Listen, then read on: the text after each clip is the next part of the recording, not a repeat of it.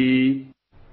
پاکستان او هندوستان کې د نوابانو یو اوږد تاریخ دی ځکه خو اوس هم د نوابانو د ملک سیاست کې ډیر مهم کردار لري همدغه شان د دیر د نواب هم یو ځانګړی تاریخي کردار دی نن د دیر د نواب د پنځوستمې کلیزې په موقع ګورو دا رپورټ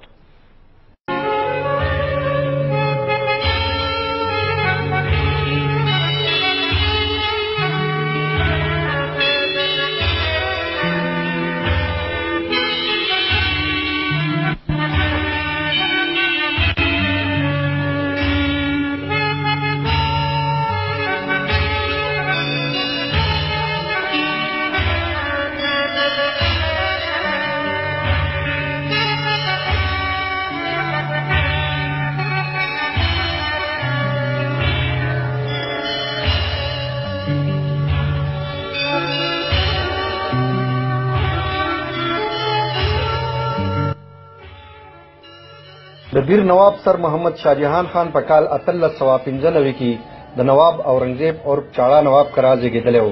د یو کم دېرش کالو په عمر کي په نولس سوه څلور دېرشم کي د بیر نواب وټاکلی شو.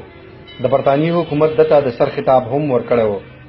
د ده اته بیبیاني او څلور زامن وو. د نواب شاه جهان خان د نوابۍ ښه اړخونه اعلی عدالتي نظام، د ځنګلاتو تحفظ، مثالي امن، ریاست خودکفالت او د پښتون کلتور ته دوام ورکول دي. د شپږ دېرش کاله نوابۍ نه پس په اووم اکتوبر نولس سوه شپېتم کې د هغه وخت حکومت دی د بادشاهۍ د تخت نه بې دخله کړو او په لاهور ګلبرګ کې په بنګله نمبر بیالیس اف اف سي کې نظربند شو. په کال نولس سوه شپږ شپېتم کې د بلډ پرېشر د مرض له وجې په سي ایم ایچ راولپنډۍ کې داخل کړی شو. او آخر هم په نن ورځ د جولای د میاشتي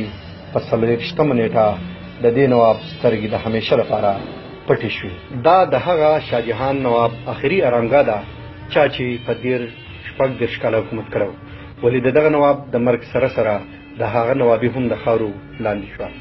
د ملګري رپورټر ایوب خان وردګ سره طاهر سلطان خیل مشرق ټي وي بره